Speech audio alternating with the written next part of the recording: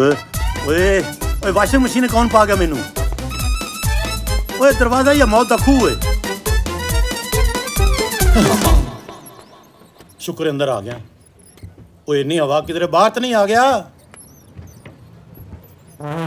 Can I help you? Excuse ਕੌਣ me. ਹੈ I'm I'm sorry. ਜਿਹੜਾ ਵੀ ਸੀ ਮੇਰੇ ਖਿਆਲ ਭੱਜ ਗਿਆ ਹੈ। ਆਪ ਨੂੰ ਹੀ ਅੰਦਰ ਜਾਣਾ ਪੈਣਾ ਹੈ। have come here for my brother's treatment. Uh, sure, yes. What's his name? Yeah, his name is Raja. And what is the name of the doctor? Yes, we have an appointment with Dr. Kamila. So can we meet her?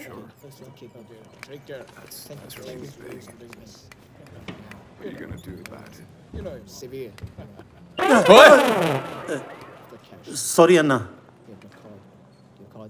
ਤੁਸੀਂ ਵੀ ਅੰਨੇ ਜੇ ਅੱਛਾ ਨਹੀਂ ਜੇ sorry ਅਸਲ ਤੇ ਮੈਂ ਜਮਾਂਦਰੋਂ ਅੰਨਾ ਇਹ ਦੁਨੀਆ ਦਾ ਕੋਈ ਡਾਕਟਰ ਮੇਰੀ ਅੱਖਾਂ ਦਾ ਇਲਾਜ ਨਹੀਂ ਕਰ ਸਕਦਾ ਫਿਰ ਇੱਥੇ ਕੀ ਲੈਣਾ ਹੈ ਨਵੀਆਂ ਅੱਖਾਂ ਪਵਾਉਣਾ ਆ ਖਰਚਾ ਪੁੱਛਣਾ ਹੈ ਨਾ ਅੱਖਾਂ ਮੇਰੇ ਕੋਲ ਆਪਣੀਆਂ ਹੈ ਨਹੀਂ ਮਤਲਬ ਮੇਰਾ ਇੱਕ ਦੂਰ ਦਾ ਰਿਸ਼ਤੇਦਾਰ ਹੈ ਉਹਨੇ ਵਸੀਅਤ ਕੀਤੀ ਮੇਰੇ ਮਰਨ ਤੋਂ ਬਾਅਦ ਮੇਰੀ ਅੱਖਾਂ ਦਾਨ ਦੇ ਦੇਣਾ ਹੋਰ ਤੈਨੂੰ ਮਜ਼ੇ ਦੀ ਗੱਲ ਦੱਸਾਂ ਅੱਜ ਕੱਲ ਬਿਮਾਰ ਸ਼ਿਮਾਰ ਹੈ।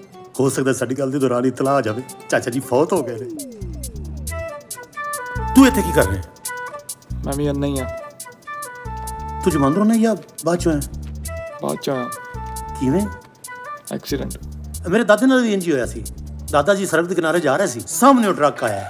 ਵਿੱਚ ਵੱਜੇ ਨੇ। ਦਾਦਾ ਪਾਗਲ ਨਹੀਂ ਸੀ। ਸਾਈਡ ਤੇ ਕੇ ਜਾ ਰਿਹਾ ਸੀ।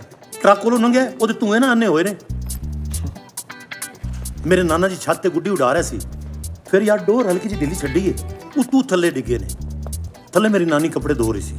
ਸਿੱਧਾ ਨਾਨੀ ਦੇ ਉੱਤੇ ਡਿੱਗਿਆ। ਨਾਨੀ ਵੀ ਅੰਨੀ ਹੋ ਗਈ। ਮਾਮਾ ਮੇਰਾ। ਉਹ ਵਿਚਾਰਾ ਤਾਂ ਹੁਣ ਵੇਖ ਕੇ ਅੰਨਾ ਹੋ ਗਿਆ। ਸਾਡੇ ਖਾਨਦਾਨ ਦੇ ਵਿੱਚ 17 ਅੰਨੇ ਨੇ, ਸਾਡੇ ਘਰ ਦੇ ਬਾਹਰ ਲਿਖਿਆ ਹੋਇਆ ਬਲੈਂਡ ਹਾਊਸ। ਹਾਂ, ਤੇ ਆਪਣਾ ਦੱਸਦੇ ਵੀ ਨਹੀਂ ਕਿ ਜਾਣ ਲੱਗੇ ਆ।